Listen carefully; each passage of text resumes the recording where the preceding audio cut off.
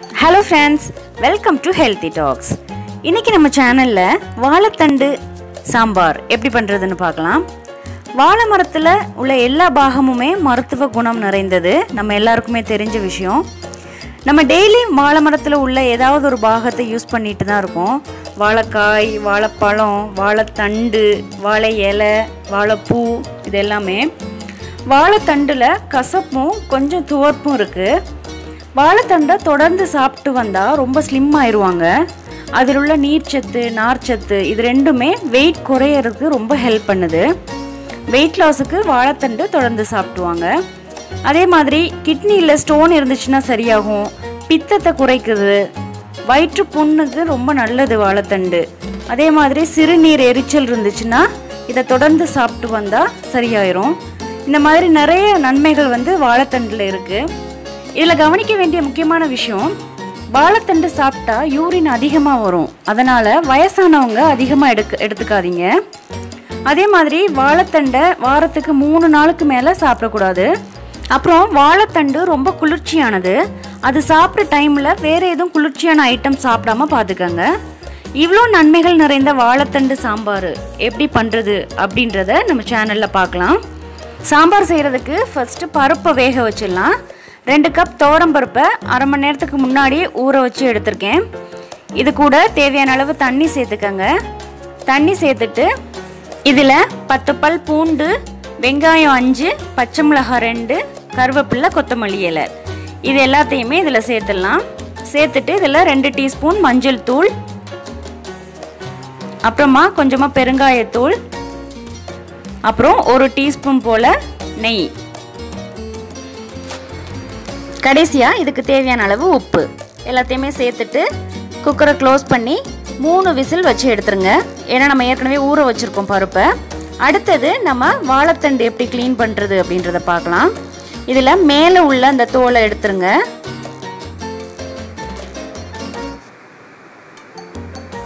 எடுத்துட்டு இந்த மாதிரி மேலையும் கீழையும் நுனிப்பகுதியை கட் பண்ணி எடுத்துருங்க.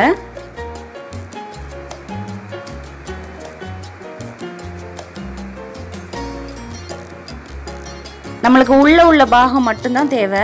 அதனால் வெளியில் உள்ள இந்த மாதிரி தோல் எல்லாத்தையுமே எடுத்துருங்க. எடுத்துட்டு இந்த மாதிரி கத்தியை வச்சு இப்படி கட் பண்ணிங்கன்னா அழகாக அந்த மாதிரி நாரெலாம் வந்துடும் இதை இந்த மாதிரி கத்தியை சுருட்டி சுருட்டி எடுத்திங்கன்னா அழகாக வந்துடும் வாழைத்தண்டை நாரோடு சேர்த்திங்கன்னா அவ்வளோவா நல்லா இருக்காது சாப்பிட்றதுக்கு. அதனால் நார் எடுக்கிறது ரொம்ப முக்கியமான ஒரு விஷயம். பாருங்கள் அழகாக வந்துடுச்சு இதே மாதிரி எல்லா நார்களையும் எடுத்துடலாம். இந்த மாதிரி ரவுண்ட் ஷேப்பில் கட் பண்ணிங்கன்னா அழகாக அந்த நார் வந்துடும் இந்த மாதிரி எல்லாத்தையுமே செஞ்சு எடுத்துடலாம். பாருங்கள் எல்லாத்தையுமே க்ளீன் பண்ணி எடுத்தாச்சு. இவ்வளோ நார் இருந்திருக்கு. இதை இப்போ எல்லாத்தையும் சேர்த்து இந்த மாதிரி சின்ன சின்னதாக கட் பண்ணி எடுத்துக்கலாம்.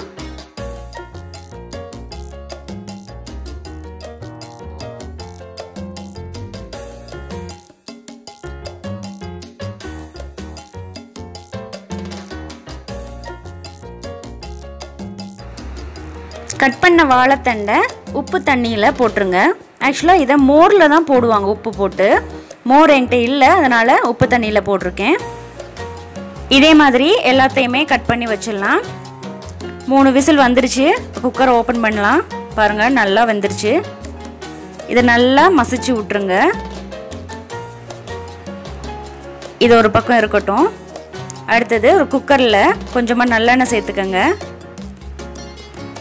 நல்லெண்ணெய் சேர்த்துட்டு இதில் கொஞ்சமாக கடுகு. கடுகு வெடித்ததும் இதில் சீரகம் அப்புறமா வத்தல். இது கூடவே கொஞ்சமாக வெங்காயம் கருவேப்பில்லை. இது எல்லாத்தையுமே சேர்த்துட்டு நல்லா கலந்து விட்டுருங்க. இது ஓரளவுக்கு வதங்கினதும் இதில் ஒரே ஒரு தக்காளியை சேர்த்துருங்க.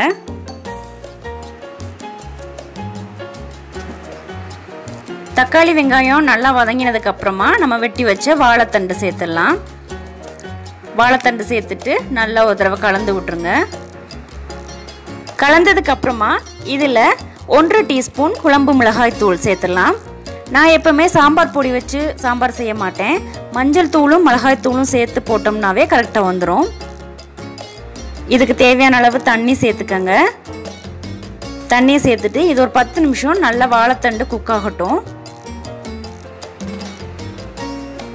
பாருங்க பத்து நிமிஷம் ஆயிடுச்சு நல்லா குக் ஆயிடுச்சு. இதில் இப்போ நம்ம பருப்பை ஆட் பண்ணிடலாம். ஆட் பண்ணிவிட்டு நல்லா கலந்து விட்ருங்க திக்காக இருந்துச்சுன்னா இதுக்கு தேவையான அளவு கொஞ்சமாக தண்ணி சேர்த்துக்கோங்க. சேர்த்துட்டு இது நல்லா கலந்து விட்ருங்க அப்புறமா கடைசியாக கொஞ்சமாக நெய்யும் அப்புறமா கொஞ்சம் கருவேப்பில்லை கொத்தமல்லி இல்லை அதனால் கருவேப்பில்லை தூவுறேன். அவ்வளோதான் ஃப்ரெண்ட்ஸ் சூப்பரான சாம்பார் ரெடி ஆயிடுச்சு.